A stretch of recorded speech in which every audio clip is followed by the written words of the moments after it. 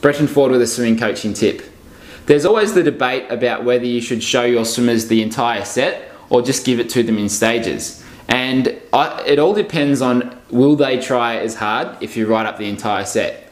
So sometimes if it's a big main set and there's quite, you know, there's some hard efforts in there, then it's best to write up the entire set so your swimmers know what's coming up and they can mentally and physically prepare for it.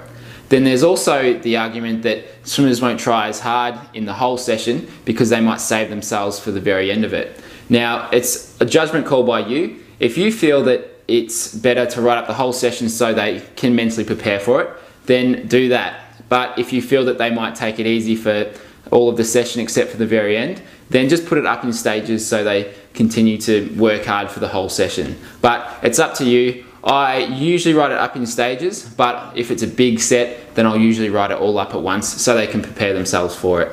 That's it for the swimming coaching tips this week. I'll see you next week.